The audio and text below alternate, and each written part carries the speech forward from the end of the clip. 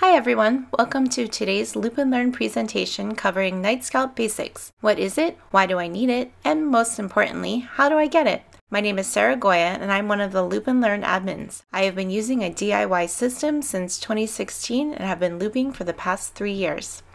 For this next series of videos, we will be discussing Night Scout. NightScout is the best resource available for analyzing your diabetes data. This is not just a resource for loopers, but all people with diabetes. Using NightScout, users, caregivers, and medical professionals can easily look at and examine all entered diabetes data in one place. So, what exactly is NightScout? NightScout is essentially a multi-purpose diabetes management tool. It is used by people with diabetes, parents, and caregivers to visualize, store, and share data from their CGM sensors in real time. Pairing it with Loop, NightScout allows one to view the CGM graph and treatment data together using a web browser connected to the internet from any location. Let's dive in here. NightScout is made up of three separate components. First is the dashboard, which is the entire screen you see here. It includes the instrument panel and graphs. There is a lot of information on this screen, which at first might feel quite overwhelming, but all of the information is important and you will get familiar with it over time. When I first set up my site, I spent a lot of time clicking and hovering my cursor around the screen to see what next cool feature I could find. The second piece of NightScout is the database, which stores your data like your blood glucose values, treatments, overrides, exercise, etc.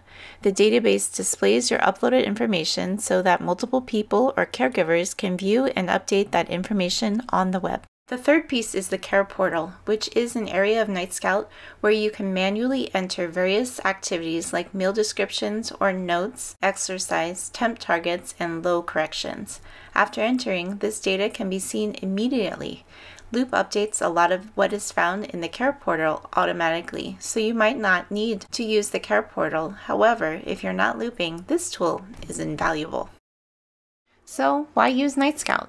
Well, as I said before, NightScout is the best tool for consolidating your data, which includes insulin delivery, blood glucose readings, carbs, activity, and more. With all of this information at your fingertips, it is much easier to analyze your settings and prepare your information for your medical team.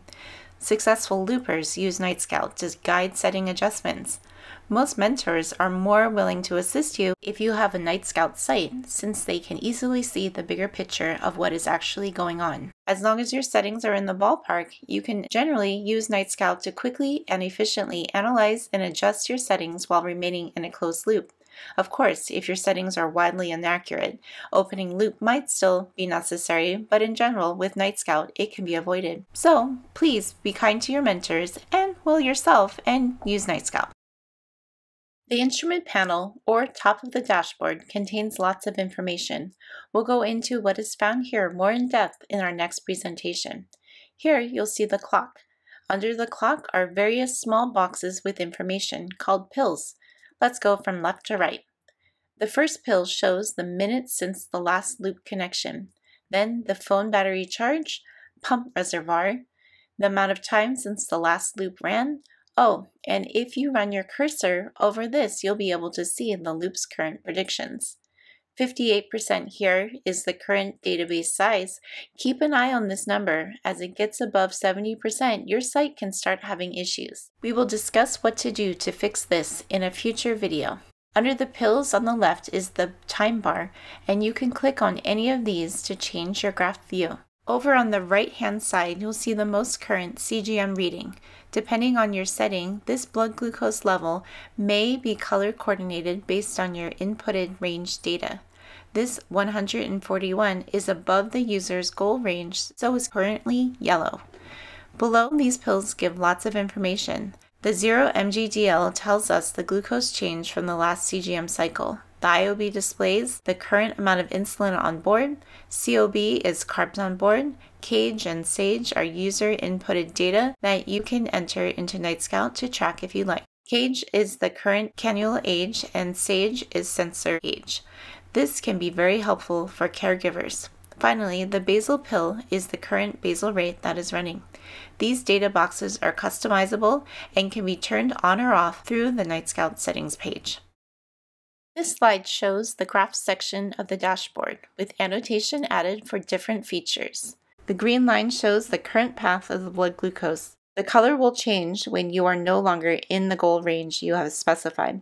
The purple at the end is the prediction or forecast of blood glucose into the future. This prediction will change when you enter carbs or insulin. The forecast can be changed by pushing the tiny three dots after the hours on the left hand side.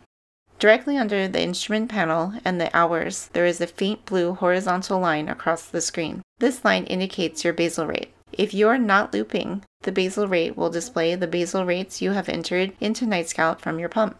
While looping, you can see the constantly changing basal rates here. On the left side of the graph, the 31 grams listed on the top of the line was entered by loop and shows the number of carbs that were entered. Under the blood glucose line are the boluses. If you're not looping, you can manually enter the carbs and insulin directly into NightScout using the Care portal. Finally, under the clock on the left side, when you select an hour time period, this will change the view of the graph period. This slide shows that 4 hours is selected for the time period of 11:30 to 3:30. The corresponding 4-hour period is also shown at the bottom right graph. This bottom graph shows 48 hours, and you can hold and slide to previous data points using your mouse on the computer or your finger on the phone app. When you do this, the data on the instrument panel will change and will show that specific moment in time. This is an incredibly important feature. Looking at this dashboard graph more closely, you'll see that you can slide to the left edge of the focus hours along the 48 hour graph. The pills will change, retro words show up as it moves to different focus points in time. You'll actually be able to see what the prediction was at the exact moment and also see what actually happened. This information right here is how we can see what loop expected to happen in regards to our settings in loop, and then what actually happened. In a future video, we will dig into this area of NightScout further and explain how we look at this data in order to improve our settings and our diabetes management. Going back to our dashboard, on the upper right, there is what we call the hamburger menu. This menu contains links to NightScout reports, the profile editor, food editor, admin tools, and clock views. Mainly, here you will find settings, alarms that can be turned on or off, basal view options, plugins that can be turned on or off, and the save button. We will also discuss this further in a future video. Depending on how you set up your site, yours might look slightly different. You'll find the link to NightScout customizations in the links below. When making changes on your site, you need to authenticate your device by entering your API secret in order for NightScout to have access to the Care Portal, Profile Editor, and admin tools. The API secret acts as a password and was made when you first created your site. This security feature keeps unauthorized people from making changes. If the device authentication screen doesn't pop up, you can also get to it by clicking the lock once you hit the plus, or you can go down to the bottom of the hamburger menu screen and authenticate at the bottom of the hamburger menu as seen here. You also must enable the Care Portal plugin to see the lock or plus symbols. There are other parts to NightScout we plan to cover in greater detail in follow-up videos like running reports and what they show us. There's also profiles and admin tools we will also touch on. We'll include the links to these resources below.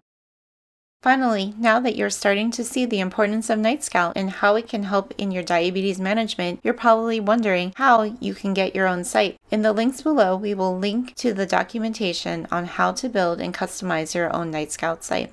Take it slow and don't let it scare you. The steps are straightforward and you can always go back and walk through the build again. Make sure you follow the steps and then ask for help if you get stuck. Be sure to take your time. Similar to building Loop, one error can keep your site from working and can lead to lots of frustration, so read carefully.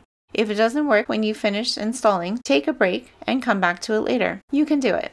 I personally recommend grabbing a notebook for all of your DIY diabetes information. There can be lots of passwords, links, and handy notes and reminders. Bookmark your favorite links also on your browser.